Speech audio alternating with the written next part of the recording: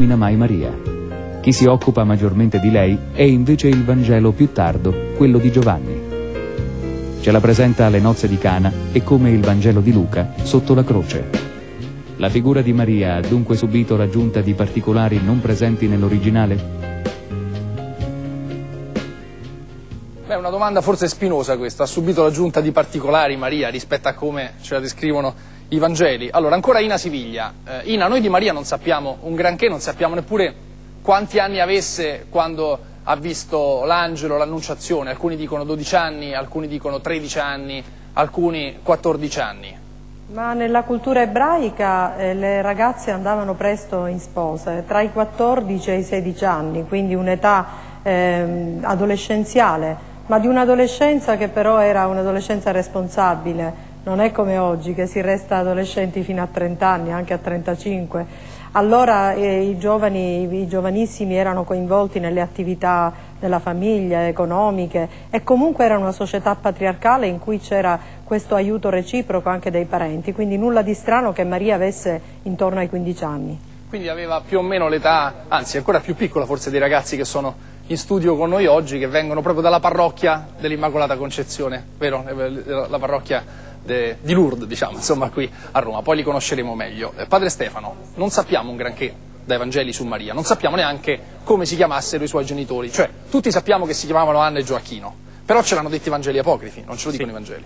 Eh, questo è vero, perché? Perché, dice Sant'Ambrogio, non dobbiamo trasformare eh, Luca in evangelista di Maria, perché lui è l'evangelista di Gesù e intanto parla di Maria in quanto c'è relazione con il Cristo. E quindi ci sono stati poi, invece dopo il 100, eh, degli scritti che sorgono dalla comunità cristiana, quindi sono pieni di fede, ma anche di fantasia, che cercano di colmare ciò che manca nel Vangelo. Il Vangelo si preoccupa della storia della salvezza. Che Maria abbia avuto 15 anni, 16 anni non è rilevante, 18, non è rilevante Però, per scusi, la storia della salvezza. È verosimile che si chiamassero Anna e Gioacchino i suoi genitori o cioè, non lo sappiamo, non lo possiamo dire? È un'antichissima tradizione, mm. certamente ha avuto i suoi genitori, le, diciamo, gli apocrifi eh, diciamo, tentano all'interno della comunità cristiana di recuperare delle notizie che possono trovare, altre le colmano con la loro fantasia. fantasia. Quindi per noi è molto difficile poter dire, però è una tradizione veramente molto antica perché si tratta del, del secondo secolo eh, d.C. Ha sentito la domanda spinosa che diceva il servizio? Sì. No? Dice, in sostanza, ora gliela sì. dico un po' terra-terra, sì. eh, visto che i Vangeli non ci raccontano abbastanza di Maria, allora con il tempo sono stati aggiunti dei particolari, quindi magari anche la Chiesa ha eh, un po' aumentato l'importanza di Maria. Secondo lei è verosimile o no? No, non è verosimile perché? Per questo semplice motivo, perché quello che si aggiunge bisogna vedere perché si aggiunge. Ora Luca dice chiaramente io aggiungo, in pratica aggiungo il 50% di quello che avevano detto in precedenza, è nuovo in Luca, però lui dice è frutto di una ulteriore investigazione, interrogazione dei testimoni, con accuratezza, diciamo dal punto di vista critico, per stabilire i fondamenti della fede. Quindi l'aggiunta non è, diciamo, contraria alla storia. Eh?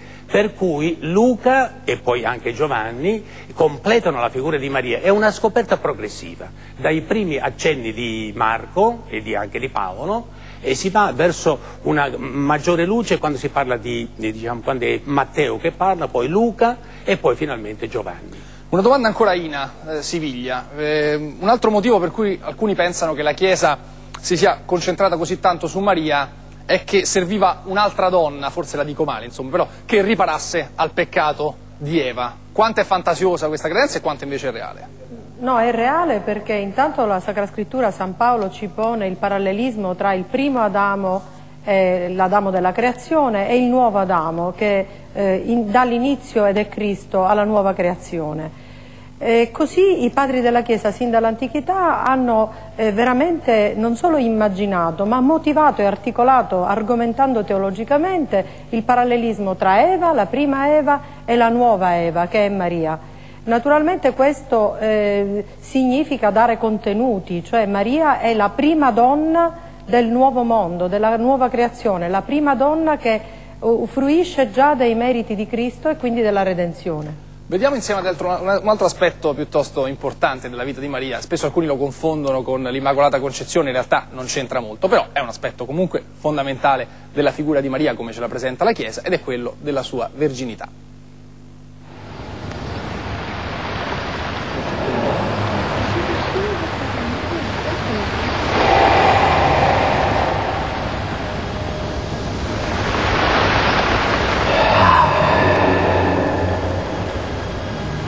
Ti saluto, piena di grazia.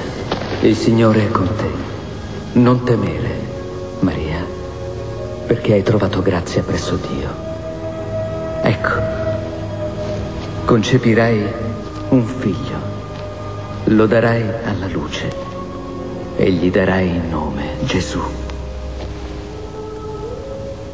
Com'è possibile? Io non conosco uomo. Sia Matteo che Luca, i due Vangeli dell'infanzia, sottolineano che Maria era ancora vergine quando, fidanzata a Giuseppe, si trovò incinta per opera dello Spirito Santo. Bevi.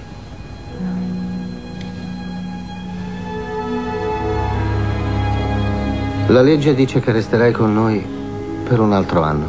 Poi andrai a vivere a casa sua. Fin da ora lo considererai tuo marito, in tutto e per tutto tranne per l'aspetto che conduce alla famiglia. Per quello dovrete aspettare. Ma quanto è credibile che avesse fatto un voto di verginità come sostengono alcuni? Quanto è credibile che avesse fatto un voto di verginità lo chiediamo a padre Stefano De Fiores. Nella Palestina del primo secolo era sì. una cosa possibile? Bisogna dire che tutti gli esegeti sono d'accordo oggi di non parlare di voto perché è stato introdotto da Gregorio Nazzanzieno in Oriente e da Sant'Agostino in Occidente. Quindi in che anni siamo? È, siamo, siamo, nel IV-V secolo. Quindi parecchio tempo dopo. Sì, molto tempo dopo. Quindi invece andando eh, diciamo, alla Palestina del primo secolo dobbiamo dire che non abbiamo altri esempi, non ce li abbiamo assolutamente se non Giovanni Battista che si ritira nel deserto, non si sposa, così anche qualche rabbino che per la legge, per l'amore della Torah eh, rinuncia al matrimonio. E forse in questa attesa della venuta del Messia si può spiegare come Maria dica, però diciamo, è molto chiara nella sua obiezione, che non è un'obiezione da prendere così alla leggera, perché eh, anche Zaccaria dice io sono vecchio, se mettiamo in dubbio l'obiezione di Maria, dobbiamo mettere in dubbio anche l'obiezione di Zaccaria e allora mancherebbero i fondamenti Aspetti, storici. Riassumendo, Zaccaria è il marito di Elisabetta, Elisabetta Elisa... padre di Giovanni Battista. Padre di Giovanni Battista, no, eh, tanto per, per farli chiaro. Sì. Allora noi dobbiamo dire che la frase di Maria, non conosco uomo, eh, cosa vuol dire? Non dice un voto, però una situazione e anche una volontà decisa di permanere in quello stato. E difatti il concepimento virginale rispetta questa volontà di Maria. Sarà il parto virginale a togliere questa verginità? Non possiamo pensarlo, perché non è in armonia con diciamo, questo, questo eh, desiderio di Maria, questa decisione, e anche dopo e riguardo ai figli che eh. si dicono mai nel Vangelo si parla di figli però di scusi Maria, quanto è importante ma di solamente fatto, di fratelli sì, ma questa è una domanda che tanti cristiani si fanno. Quanto è importante eh, per eh, la Chiesa il fatto che Maria sia rimasta vergine anche dopo la nascita di Gesù? Ecco è una questione di coerenza e di armonia con la figura di Maria vergine che voleva rimanere come tale eh, vergine nel parto, perché non dovrebbe essere anche dopo? Cosa è avvenuto che sconvolge la vita di Maria in maniera tale da togliere questa sua, eh, diciamo, questa Lei dice, se era ormai dedicata a Dio, lo ha fatto per sì. tutta la vita. Dice Basilio, i, diciamo, i, gli amici di Cristo non tollerano di vedere che Maria a un certo punto abbia lasciato questo suo proposito di verginità. E Ina Siviglia cosa dice di questo? Quanto è importante per la Chiesa tutto questo? Io dico che non è la verginità che spiega Maria, ma è Maria che fa comprendere il senso della verginità, nel senso che verginità è molto imparentato col concetto di integrità, di totalità, di radicalità, di, di dono al Signore. E poi è importante la verginità perché quella dal punto di vista teologico garantisce che Gesù non sia figlio di uomo, ma sia figlio di Dio, figlio dell'Altissimo, dice l'angelo. E anche dopo il parto non si vede perché questa totalità e radicalità di consacrazione al Signore non nel senso come noi lo intendiamo, ma nel senso della, del dono, non debba continuare per tutta la vita. Qualcuno dice come Gesù è potuto uscire, eh, entrare a porte chiuse nel cenacolo eh, per, do, dopo la sua resurrezione, perché lui che era Dio non poteva far sì che sua madre potesse averlo eh, a porte chiuse, giardino chiuso, diceva il Cantico dei Cantici. Credo che non dobbiamo comunque sottolineare l'aspetto eh, più fisiologico della sessualità, quanto invece il concetto della totalità del dono. Questa figura un po' particolare che è Maria, questa soprannaturalità di Maria, torna poi anche nell'Apocalisse e le immagini non sono tanto semplici da spiegare, noi ci proveremo insieme. Poi un grande segno apparve nel cielo. Una donna rivestita del sole, con la luna sotto i piedi e una corona di dodici stelle sul capo. Era incinta e gridava per le doglie e il travaglio del parto. Apparve ancora un altro segno nel cielo. Ed ecco un grande dragone rosso. Il dragone si pose davanti alla donna che stava per partorire, per divorarne il figlio non appena l'avesse partorito ed ella partorì un figlio maschio, il quale deve reggere tutte le nazioni. Allora, tanti simboli, proviamo un botta e risposta con padre Stefano De Fiores per capirli insieme.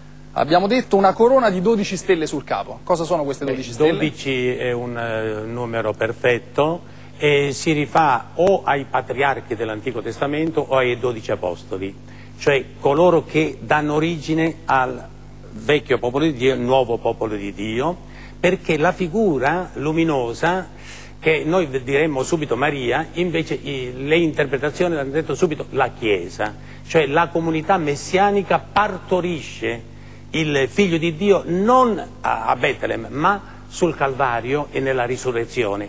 Questa è la nascita di Gesù di cui si parla nell'Apocalisse. La luna sotto i piedi, che vuol dire la luna sotto i piedi? La luna è il segno del tempo, dell'evoluzione, della fugacità, del, del, della